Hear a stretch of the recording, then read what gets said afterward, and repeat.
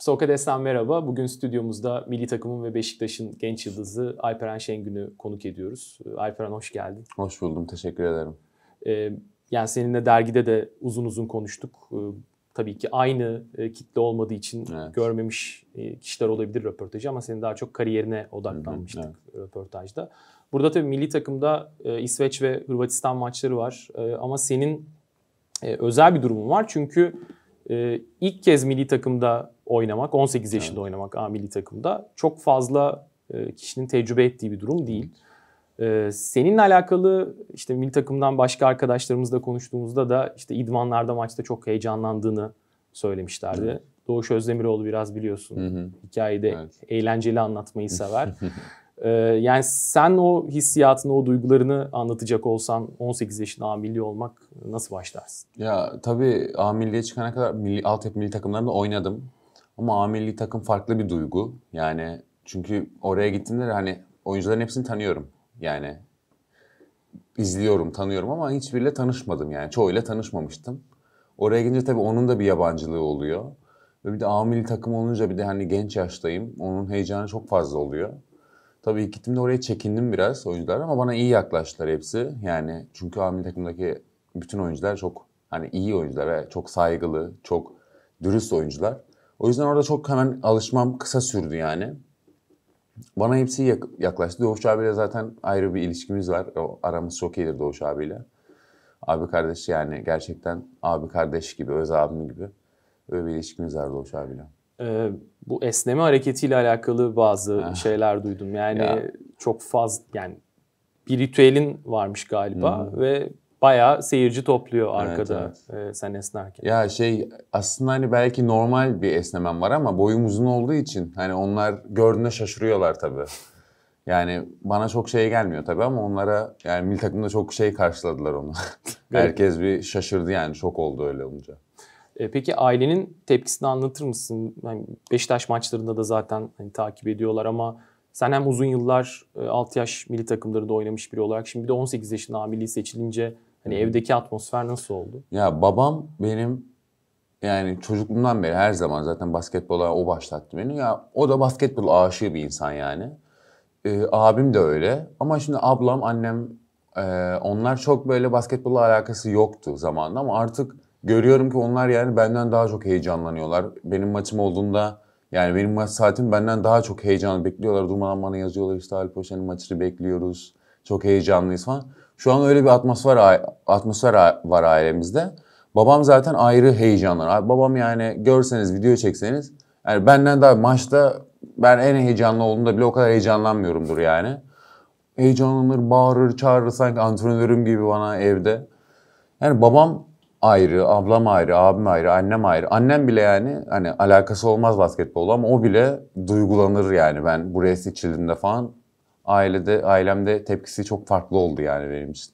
Peki yani Hırvatistan maçı genel olarak milli takım için çok iyi geçmedi. Evet. Ee, sen de işte 20 dakikada 5 hani faal aldın belki ama ilk maçın sonuçta. Evet, evet. Ee, neler hatırlıyorsun? Böyle eksiklerin nelerdi geri dönüp baktığında? Bir Miro Bilan eşleşmesi var ama evet. ona gelirim sonrasında. Ya şey, e, Hırvatistan maçı ilk maçım sonuçta A milli takımda ve çok heyecanlıydım. Yani ne yapacağımı bilmiyordum. Çünkü heyecanlandı her şeyi unutuyorsun bir anda. Elin ayağın titriyor. Hani savunma bile yaparken şey oluyorsun yani hani korkuyorsun hani atmaması lazım ama onu düşününce daha çok hata yapıyorsun bence yani. Hı hı. Yani o maçta da Miro Bilan'a karşı oynadım ve Miro Bilan çok tecrübeli bir oyuncu. Ve hani size büyük bir oyuncu. Hani tabii o kadar etkili oynayacağını yani ben de tahmin edemiyordum. Ya birebir tutarken çok zorlandım açıkçası ve zaten o maçta 4 numarada oynadım hı hı. ve bu sezon çok 4 numara oynamadım aslına bakarsan. Yani alışmam biraz şey zor sür yani uzun sürdü. uzun sürdü alışmam biraz. O yüzden çok heyecanlı ve çok zordu yani benim. Sezon başından beri en zorlu geçen maçlarımdan biri olabilir yani. Peki yani çok tecrübeli bir teknik ekip var sonuçta evet. milli takımda. Ee, işte Orhun abi, yani Orhun'e, Ahmet Çakı e, seninle alakalı 4 numara oynamana dair olabilir ya da genel takım içerisindeki rolünle alakalı olabilir. Neler konuşuyorsunuz? E, neler söylüyorlar? Ya şimdi benim kulüple hani milli takım arasında şeyler e, hani nasıl denir? Teknik şeyler çok farklı yani. Hı hı. Beşiktaş'ta çünkü ayrı şeyler yapıyoruz. Savunmada, hücumda, milli takımda ayrı şeyler yapıyoruz. Onların hepsini bana anlattılar. İşte burada böyle yapacaksın, seni dörtlere kullanacağız, beşlere kullanacağız. Önemli bir rolüm olduğunu söylediler yani. Ve Orhun abi, o Ahmet abi bana çok destek çıktılar. Çünkü biliyorlardı benim heyecanlı olduğumu ve hani ilk şey olduğum için, ilk defa oynayacağım için çok heyecanlı olduğumu biliyorlar. Bana çok destek çıktılar. Özel özel konuşmalar yaptılar. Bu beni daha çok etki, yani olumlu şekilde etkiledi. Hı hı. Yani iyiydi benim için. Sadece e, daha önemli rol aldığımı söylediler yani. Peki yani 2002'li olduğunu düşünürsek biraz temkinli yaklaşacağım bu soruya ama unutamadığın bir milli maç senin çocukluğundan e, ya da bir bireysel performans e, geçmişte milli takımda oynamış birinin olabilir. Yani 2010'da sonuçta 8 yaşındasın o yüzden evet, ne kadar hatırlamıyorum e, çok. ama çok izledim o maçı tekrarını. Hala da izliyorum yani şey oldukça YouTube'da gördükçe. Çünkü çok farklı bir evet. atmosfer var evet. yani. Özellikle işte 2000'lerin ilk yarısı, 2001 Avrupa Şampiyonası, evet. sonrasında birçok Avrupa Şampiyonası belki istenilen sonuçlar gelmedi ama 2001 2016 17 arasındaki milli takım çok farklı bir atmosfer. Ee, seni böyle etkileyen belki hani oyuncular olabilir, performanslar olabilir ya da dönem olabilir. Ne söylersin? Ee, ben altyapıdan kendimden bir şey söyleyeyim. U18'de Hı-hı. çeyrek final maçımız Fransa ile. Fransa'da yani favori takım olarak gösteriliyordu tak şeyde, turnuvada. Ve şöyle bir durum vardı. Ee, U16'da ben yoktum 2001 2000 2001 2002 jenerasyonunda. U16 çeyrek finalle kaybediyorlar bizim işte U16 takımı o Hı-hı. zaman. Eleniyorlar turnuvada. Sonra U17'de ben de vardım Dünya Şampiyonası'nda. Yine çeyrek finalle karşılaştık Fransa'yla. Yine bizi ele- elediler. Yani hep beşinci olduk yani. Hı hı. Sonra e, Volos'ta da işte Yunanistan'da yine çeyrek finale denk geldik. Biz aslında hani şeylerimiz öyle değildi nasıl diyeyim. Hani planımız öyle değildi. Yani Fransa ile finalde oynamak gibi düşündüğümüzde ama Sırbistan'a yenildik grup maçında. Yani Fransa maçı o kadar şeydi ki bizim için. Hani şampiyon olmuş kadar sevinmiştik yani gerçekten.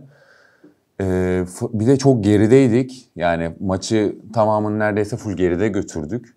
Ve maçın sonunda hani çok iyi motive olduk ve kazandık maçı. Hani o kadar sevinmiştik ki hatırlıyoruz yani hepimiz yani ağlama şeyine gelmiştik resmen. E, o maçı unutamıyorum yani.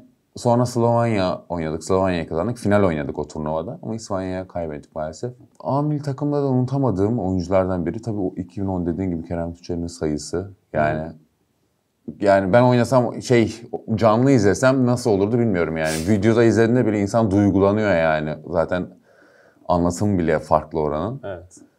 Yani başka da hatırladığım yok o kadar. Peki şeye bağlayayım. Ee, işte 6 yaş milli takımlarından bahsettin. Türkiye'nin sonuçta e, son dönemde orada bir kazanma alışkanlığı evet, var. Evet.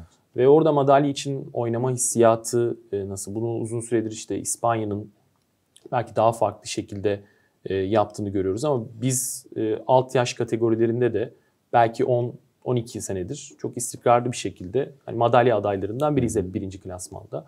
E, sen de parçası oldun e, uzun bir süre. E, nasıl anlatıyorsun oradaki kültürü? Bizim baş antrenörümüz Gökhan Güney'di. Gökhan abi çok sert bir koç. Hı hı. Hani zaten takımdakiler de bunun farkında. Biz de farkındaydık. Ben 16'tan beri Gökhan abiyle çalışıyordum. 18'de de Gökhan abiyle çalıştım. Ee, yani Gökhan abi öyle bir koç ki yani biz o 16'da aslında çok iyi bir takım değildik. Hı hı. Hani çok iyi bir takım değil bunu herkes biliyor. Çünkü hazırlık turnalarını falan çok kötü geçirmiştik. Hı hı. Ve Gökhan abi yani gerçekten bize öyle bir hani inandırdı ki yani bir madalya alabileceğimize hani iyi bir takım olduğumuza inan, inandırdı bizi. Ve e, yani U16'dan bahsedeyim. U16'da mesela bizden çok be- beklenti yoktu yani. Hı hı.